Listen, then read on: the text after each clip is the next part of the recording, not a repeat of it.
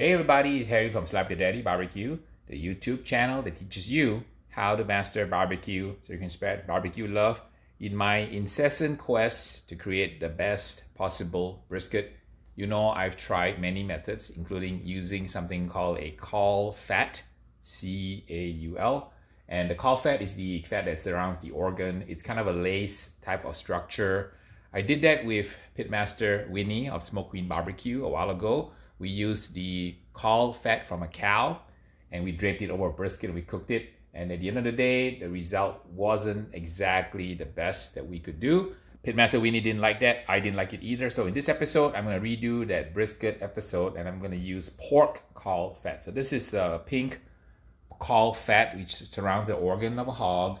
I was able to source this through my buddies at the Brea Meat House and they were kind enough to find this hard to find caul fat from a pork, from a hog. So we're gonna drape this caul fat over my standard brisket here. We're gonna cook it to perfection. Stick around in this episode if you want to find out if the caul fat from a pork versus the caul fat from a cow, which one's better in our quest for the ultimate brisket.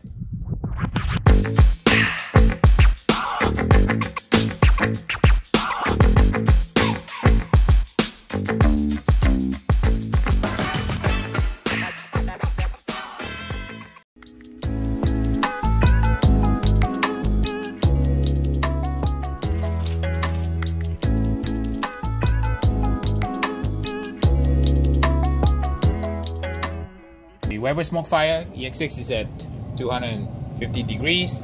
Let's gonna let this puppy sit here for a little bit and get a nice crust before we proceed to the next phase. So you notice I have three half full pans underneath my brisket on my smoke fire. That's to catch the grease, makes clean up a breeze on the smoke fire so you don't have that all that grease dripping down into the grease trap. Starting to crust, so let's give it a little bit of spray of water. It moist, tender, and juicy. And the fat is melting nicely now. You can see it's melting into the brisket itself on the flat here. Also melting into the area of the point. Looks really, really good.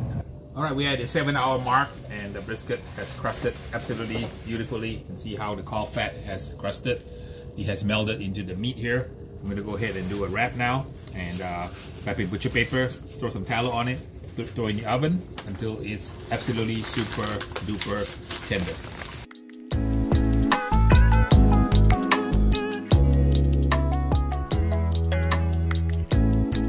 All right, our brisket is ready. My, finally, my pork caul fat brisket ready for tasting.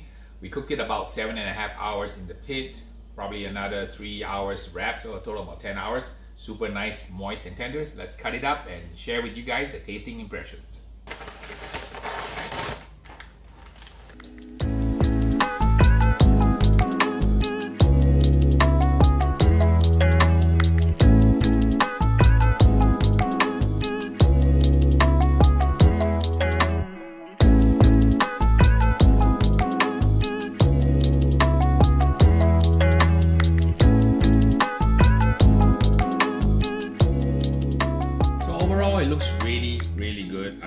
Impressed. The uh, bark is uh, super dark, and you can see here it's uh, absolutely, absolutely gorgeous. Here you can see the bark. Uh, the smoke ring is uh, sensational. I don't know what happened, but this one is outstanding. I'm not sure what I did special, but that's definitely really, really good. Yeah, flat muscle. See how it tastes. So I can see the a little bit of caul fat on the top. You can see a little bit of the caul fat has fused to the protein. A lot of it is rendered. So let me give it a taste with the caul fat on. Wow, that, that's a that's a really good bite. So the caul fat actually helped preserve some of the moisture on the surface of the brisket. I did not notice any gaminess at all. So this is different than the one that we cooked at Winnie's place, uh, Smoke Queen Barbecue. When we did the uh, beef caul fat, it kind of had a little bit of a gaminess to it. Uh, this one is absolutely perfect. You can see that. So the caul fat did not have any off flavors at all because I think the hog caul fat is much more neutral. There's no sense of gaminess at all. So that was my first bite. Let me just reinforce it with the second bite. Let me pick a part from here, which is the tail end of the brisket. You can see here, I'm gonna go take a cut from this one, eat a little bit more of the caul fat and see if I my hunch is correct that the caul fat on the pork is absolutely neutral, no hint at all of any type of a uh, uh, kind of a gaminess or any kind of a flavor. So you can see the caul fat is here. I'm gonna taste a little bit more, bite it, bite, bite into it and see what happens. Wow, that's really, that's really good. So the pork fat, caul fat adds a layer of oiliness, unctuousness, that kind of smooth texture mouthfeel to the brisket.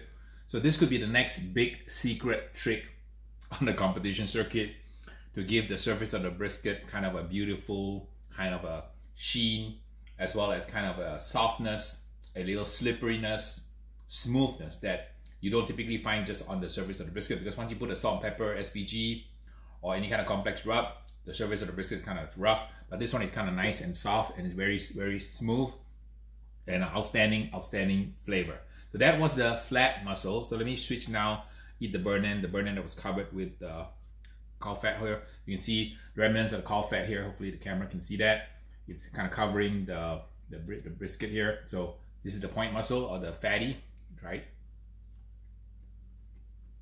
Hmm, very interesting. The interesting is the caul fat actually helps with the crispiness.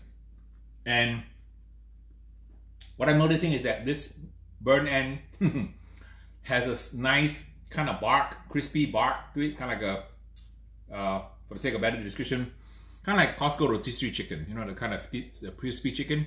So it's got a little bit of a skin or a little bark made by the caul fat. Looking at it, you cannot tell the caul fat. It looks just naturally like the surface of the point. So, hmm, you know, this could be a game changer in a brisket turn in where you put the caul fat on it. And it's got to be pork because uh, my first episode one with the beef caul fat didn't work, too gamey.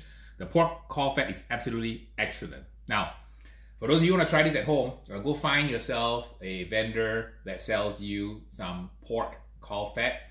That caul fat you saw on my video isn't really expensive. I think I paid probably $5 a pound.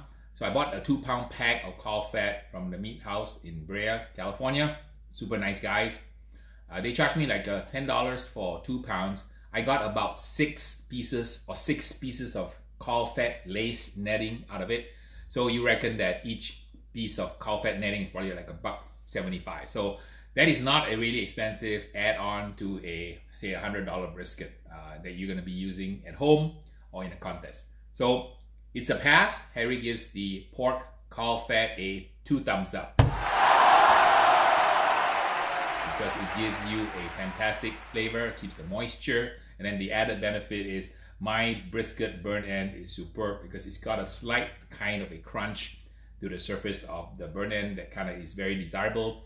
Uh, very unusual to have a crunchy surface crust burn end on a brisket. My first time ever. So I'm gonna definitely going to be adding this pork caul fat to my bag of tricks for brisket. You see me do 50 videos already on brisket, so there is an innumerable number of ways. And as I go through and make these discoveries, including the one with the pork fat injection, now with the pork caul fat, I have to admit that the old saying that says pork fat rules does apply here. So enough of me talking now. Mr. Beans is waiting for his sample. Let's feed Mr. Beans and see what he thinks. I have Mr. Beans plate prepared. I got him some point and some flat with a big chunk of caul fat on the surface here. Hope he likes the crunchiness. You ready, Beans? Oh, he's eating the point muscle, chowing it down, enjoying that crunch from the crust of the pork fat. Uh, he liked it. Moving on to the no, he didn't like it too big of a crunch for you. Okay, he swallowed that piece down. He goes for another point muscle, licking his chops. Now for the flat. All right. I think he's enjoying it. I noticed that the uh, smoke fire briskets look like that. They have the fantastic smoke ring because of the way the kind of fire grates are set up, different than conventional pit. Those of you watching this episode wondering how to get a nice smoke ring like mine, go try your brisket on the smoke fire. It's a fantastic cooker and uh, one of my favorites. Thanks to my patrons for helping sponsor my channel, keeping the free content going for my YouTube friends. So until the next video, we will see ya.